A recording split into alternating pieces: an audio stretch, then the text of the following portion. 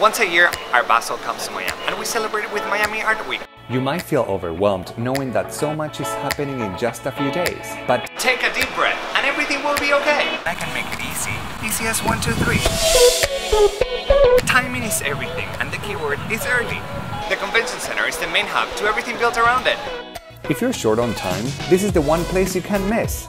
Here, you'll find over 200 galleries displaying the artwork by 4,000 artists.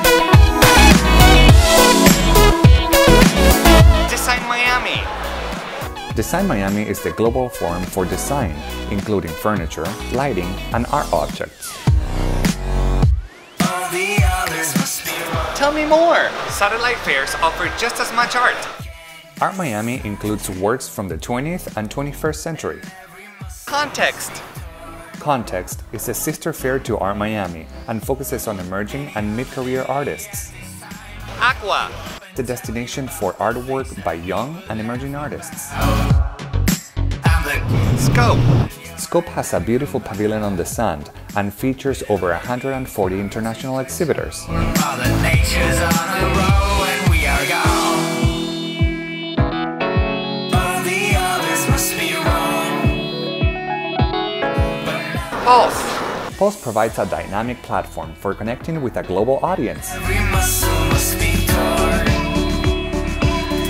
And more. like Raw Pop-Up and Faina. Often you'll meet the artists who will share some insight about their work. Yes, that's actually my biggest piece, and it's just made with black and white sand and gold leaf on the top. You can't be forced to go. work with packing tape, which is unusual. I wanted to work with city lights, street lamps, bus shelters, and use the light as It's illuminated from the back. It's illuminated. I can show you real quick. Ah. Bring basically all didn't want it to just be like erotic. I was more interested in how complex our human feelings are. So a lot of my paintings deal with a moment that you can have with a person that's more than our bodies. Um, I struggle a lot with insecurities about the way I look. So I want to capture like a feeling that you could get. the real beauty of uh, the installation is not the outside, but is uh, the inside part. The experience.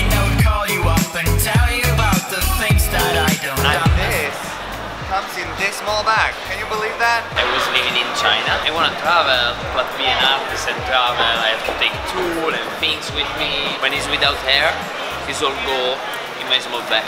That's right. It's so conveniently to travel with. I'm taking it with me. I told you it was easy. You just need to make time for it.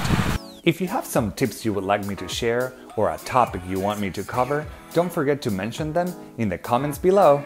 We